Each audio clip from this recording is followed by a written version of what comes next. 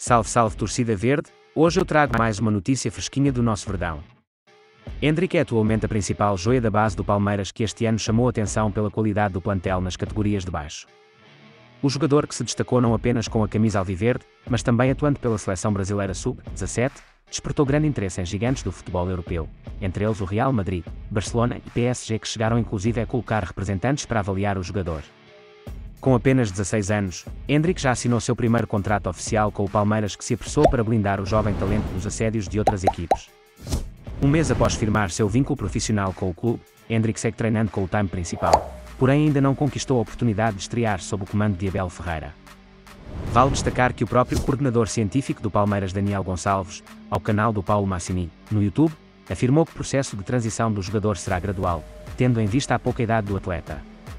Hendrick é um talento, uma joia sendo trabalhada com todo cuidado e critério.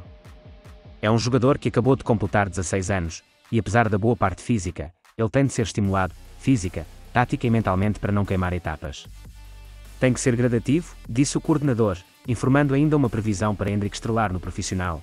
Há um planejamento, tanto no núcleo de saúde e performance, quanto por parte da comissão técnica.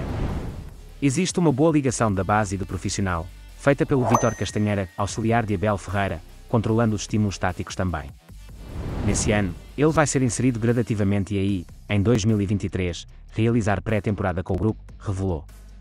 Bom, esse foi o vídeo de hoje. Você acha que o Hendrick vai ser o M bom reforço para o time principal do Verdão?